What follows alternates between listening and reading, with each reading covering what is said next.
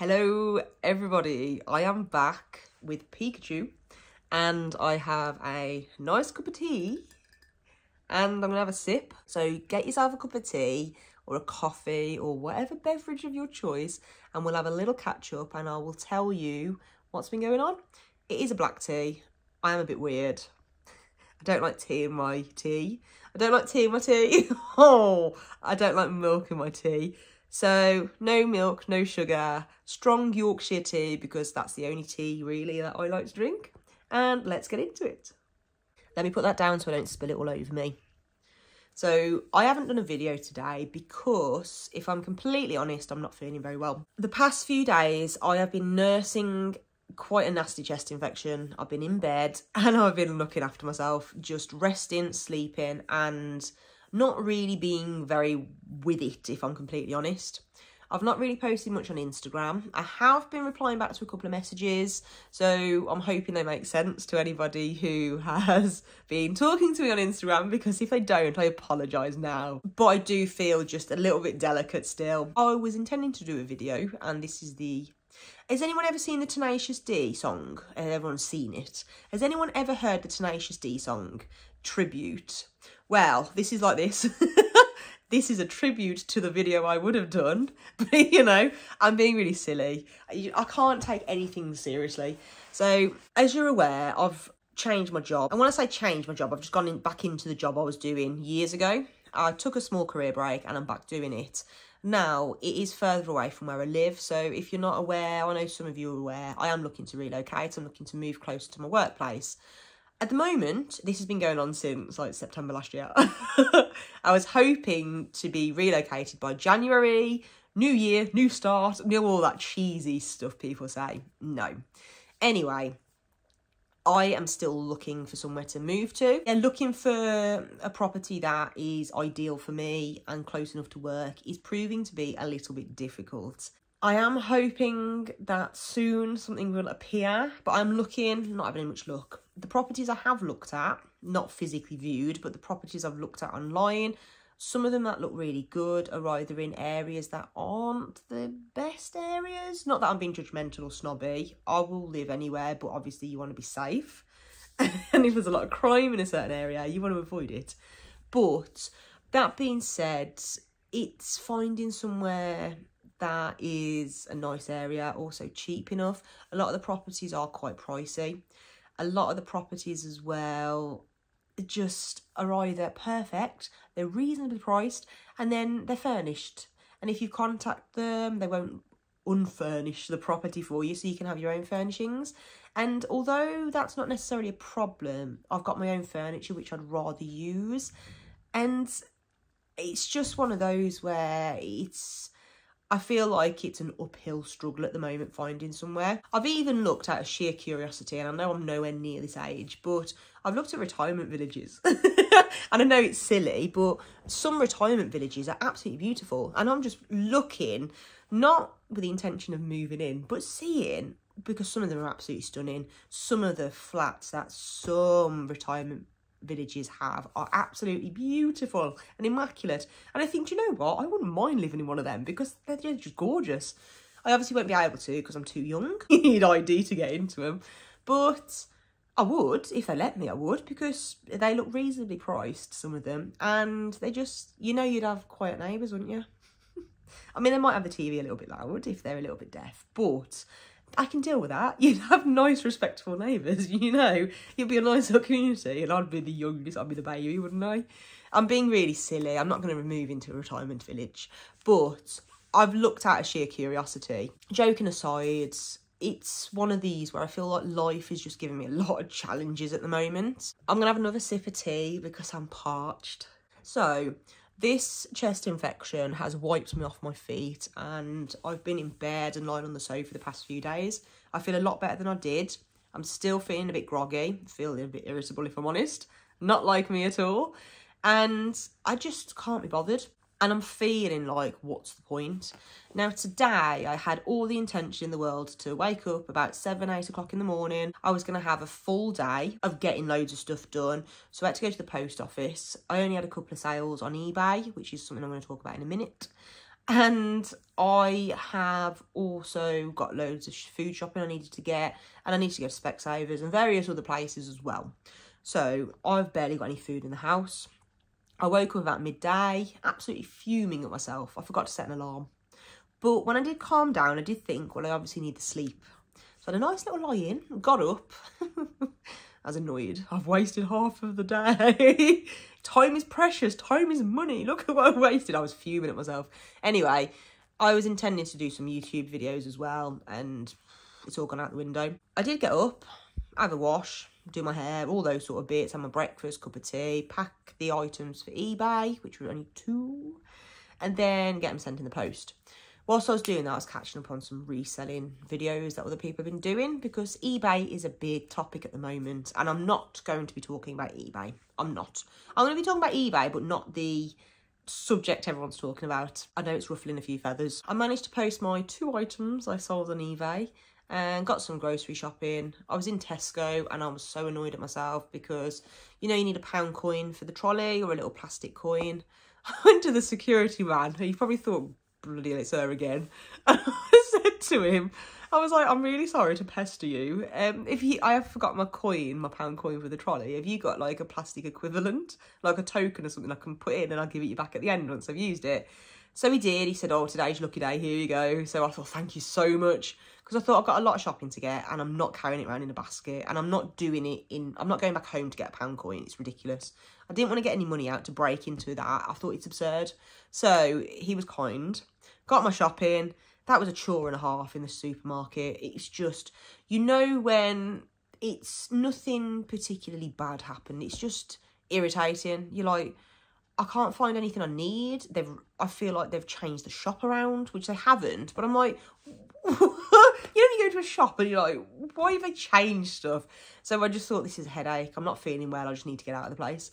Paid for all my stuff and I did give him the coin back because he said you could have kept it. I didn't expect you to bring it back. I was like, hey, I said I was going to bring it back. I'm going to bring it back. Went down to the car, put all my shopping in. I just thought I can't be bothered. And then I came home and here I am now. It is six o'clock on the evening and I've not really done much. Now, admittedly, the past few days when I've been in bed and lying on the sofa and resting, I have been doing stuff on eBay, like refreshing some of my listings. I don't really know what to say. It's not re eBay is being absolutely shocking, and I've been thinking about this for some a few weeks really. I don't really see the point in being on eBay at the moment because I'm not making any sales for the whole of this month, and I don't know what date we are on at the moment. So it's the 10th of April at the moment. Let me put that back down there. And I've only made two sales this month so far. Two sales. And there's people who do reselling who say, I haven't made a sale today. I haven't made a sale for two days. I haven't made a sale all month. These are the first two sales I've made. And I know it's not competition. I'm not having a go at people. I think it's great that people are making more sales than me. I'd like to be making more sales, but I just don't feel like I've got the time and energy to put into eBay like a lot of other people have and I know it's a side hustle, and but it's not really bringing in that much money. And I'm starting to feel like, what's the point? I am trying to change things on eBay, and I've got plans of where to go in the future and I am trialing this reselling stuff at the moment. I don't feel like it's working. I feel like I've obviously I'm doing something wrong as to why it's not working. However, I feel like maybe there's another way to do it. I don't want to go on Vinted. I don't want to resell on Vinted. My instincts are telling me to to keep off Vinted. I don't know why, but I've just got this feeling, this, you know, when you get a gut instinct to not do something, that's what I get with Vinted. There's nothing wrong with being on Vinted. I just don't particularly want to do that, and my instincts are telling me to steer clear from it. I don't know why, but that's how I feel, and I've had times in the past where I've not listened to my instincts and they've turned out to be right, so I don't go on Vinted for that reason. But this, I'm not saying don't go on Vinted. That's just me. And it might be just the fact that it doesn't fit my circumstances, which it probably, that's probably what it is. You have to do what's best for you. But eBay is so shocking that I... I'm getting a bit fed up with it if I'm completely honest. I am experimenting with reselling, so it's something that I did start doing to bring in a bit of extra money It's fun. I enjoy it. I love the sourcing. I do. I find it so exciting. But it's just I'm not making sales. If I showed you how many items I've got and where I keep my reselling stock, I think you'd be shocked to be fair. Because I'm going to tell you, I'm going to tell you how many items I've got to resell. So I've got a wardrobe. I've got two wardrobes in my bedroom. One wardrobe is dedicated to reselling stock and that is full of reselling. It's just a wardrobe full. I've got a couple of boxes in there and I've got a couple of boxes on the top of the wardrobe and that is all the stock I've got. I've got very minimal stock and I know I probably need more stock but I haven't got the time to source it and do I go into the wholesaler route and then flogging more items off? More like bulk buy stuff I don't know. But I feel at the moment like I feel really demotivated. I don't want to bring you all down because I'm quite a cheerful person. But I'm trying to look at different ways of moving forward. I feel like life at the moment is giving me quite a few obstacles. Like, I'm struggling to find somewhere to move to. I need to be in the right place at the right time. It's like that with reselling. Charity shops, I think you've got to be in the right place at the right time. And I think it's like that with looking for somewhere to move to. I've got to be in the right place at the right time. Strike whilst the iron is hot, effectively. I'm just feeling a bit demotivated because eBay is shocking. eBay's been shocking for a few weeks, few months. It is very saturated, but you can still make sales. And I think that I am debating whether to not give up reselling, but to change how I'm doing things. I think once I've moved, it's going to open up a lot more opportunities for me because I'm going to be able to do, I'm going to be able to hopefully do it a little bit bigger, a bigger scale. Because I'm very restricted with what I can and can't do right now with my circumstances. Once I've moved, which is why I'm eager to move. I'm eager to move because I'm going to be closer to work. So it's going to be less driving. I love driving, but the job I do is part of it is to do with driving as well. So we do a lot of driving at work as well as driving to and from work. And everything's safe. Don't i don't want people putting in the comments oh you know you've got to be driving guidelines and rules. I i'm aware of this so please do not lecture me because i'm already aware. I'm already aware and i know some people are probably worried but i make sure i've got enough rest in between driving. It's fine. Anyway, I just think that once I've moved, it can open up a lot more opportunity for me. But I don't know which way this is going to take me. I do feel a bit sort of, I don't know which way life's going to go. My priorities, my commitments are my full-time job. And obviously everything, your personal life things, You've got to do all those, you've got to prioritise all those bits first. My reselling is just something I do as and when really it's whenever I can get outsourcing because I can't go outsourcing as regular as a lot of people I go through phases of being able to do a lot of sourcing and then I might not be able to source for about a month or two I've not been able to get out this week because mainly because I've been unwell but sometimes work commitments I haven't I'm not able to because I'm so busy at work. And then when I finish work I'm just exhausted. And I just think maybe reselling isn't for me in that sense but I just I don't know and I'm not going to give up. I'm not going to stop doing YouTube. I wanted to do a video because this time last year I stopped doing YouTube videos because I'm going to give up reselling. Oh, that's it. It's the end of the world. Oh, no, that's it. And I stopped doing YouTube videos. I don't want to do that again. And I said I wouldn't do that again. But then I came back with a crazy hairstyle because I had it all cut off. And then carried on doing videos, carried on doing reselling. But I had quite a few months of where I didn't do any reselling. And that's where I'm getting to at the moment, where I'm not really doing much. I've got quite a few items to list, but I just... I just don't really see the point because it's not bringing in anything. And I sound like, you know, when you get people who whinge about everything in life, I feel like one of those, and I'm not like that. Because what I tend to do is if I see a problem, I tend to try and find a way around it. But at the moment, I'm not finding a way around it. I will find another solution to this. But I don't know what to do. I've even thought about making my own website, like having my own website and doing it that way and starting off that way. But there's, I need to price up, is that even worth it? I don't know. And these, these are all the questions. Should I rent a storage unit? I don't think that's a, I think that's a bit of a ridiculous idea considering the majority of my stock fits into a wardrobe. So I haven't got that much stock.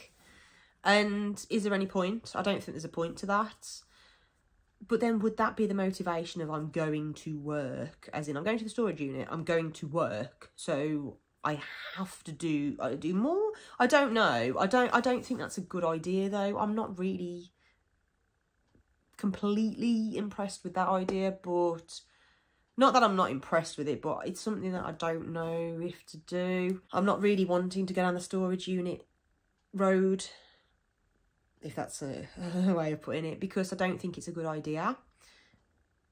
Basically, what I need to do is relocate and things are going to get a lot easier. I think with with work, because I'm closer to work, but with reselling as well. Because I'm very restricted at the moment with what I can and can't do. And I don't know. I really don't know what to do because I don't want to bring everyone down. I was only going to do a quick five minutes. Here I am. I haven't done a video today. I'll be back on Sunday. And here I am 20 minutes later moaning about get the violin out. Where is me? It's the end of the world for Rebecca. Throwing my toys out of the pram. I'm being really silly.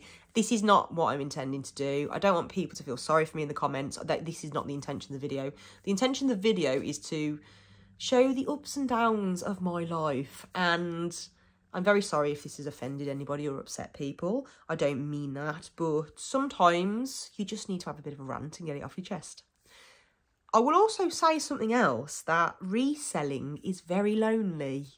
Now, I'm not massively in the reselling community because believe it or not, and I know you're probably going to laugh at this statement, I'm very introverted. If you see me out in public, I'll talk to you. If you see me at work, I'll chat. It's part of my job. I have to be able to talk. I can communicate. I, I can talk forever. But online, on a forum, forum? Do we have forums? God, that, that's something in the 1990s. I'm going on a forum. Do we still have forums? But anyway, it's group pages now. Is it a page on Facebook or whatever? I'm in a group on Facebook. A forum. Forum, that takes me back. Right, but, well, what was I talking about? That was it. So, I'm very introverted in the sense of talking on social media. I'll reply back to my comments.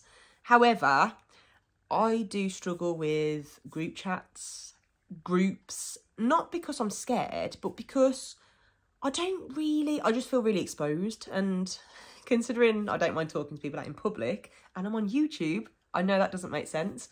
But I never know how to word things and is somebody going to get offended? Have I said the right thing? Is it misinterpreted? Sometimes I do struggle with wording things and I don't want to come across as being sort of, what's her problem? And it's not, I'm just genuinely, I don't know how to word things like normal people. So this is why I shy away from it. But I know the reseller community is quite large, but I'm not really in any groups and pages, but maybe I should because reselling does get lonely. And sometimes I feel like this and think I've got no sort of direction and especially when you don't really know what you're doing and you're winging most of it. Now, there is a method to some of my reselling, but a lot of it I am experimenting as I go along because I haven't got a clue. I'm not from a business background. I've never worked in retail. I've never done anything like this before. My background is nothing to do with this. And for me, I feel a bit lost. I struggle talking, opening up in the sense of, I need some help, help me. Because at work, you can ask one of your colleagues, you can say, what do you think of this? Should I have done it this way? What would you have done if this was your situation sort of thing? You can you can ask for feedback in that sense. Or if you're working with somebody, they can give you feedback or you can have a bit of a discussion. This is what we're presented with. This is what I'm thinking. Is this what you're thinking? But with reselling, I can't talk to somebody. I'll go and knock on my next door neighbour's door and say, oh, what do you think of this? He's going to be like, what are you on about? so, no. But reselling can be so lonely. And I'm not lonely. I don't feel lonely. Again, get the violin out. but what I mean is it's there's not always a direction of where to go. And I find that really exhausting sometimes because I do research and I look into things myself and I'll independently speak to certain like companies or whatever if I need a bit of advice about certain things. Actually, it's nice to hear from people who actually are doing what you want to do and know that you're on the right path. Not to hold my hand and do it for me, but to make me think that actually it's okay because I ain't got a clue what I'm doing. Then you get demotivated and think, what's the point? But anyway, I don't want to keep moaning. I feel like I've done a lot of moaning and that's not what I'm intending to do. I feel alright myself. I'm hoping that I'll be able to get a video out on Sunday. But if this video isn't out tonight, Wednesday, it'll be out Thursday morning. I do apologise if you've watched this. If you're the first time watching me, I'm not usually this miserable and moaning. But sometimes you have to get it off your chest. I've just hit a point in life where I feel like life is giving me a lot of challenges, a lot of tests, and I just feel like I'm struggling to pass through them.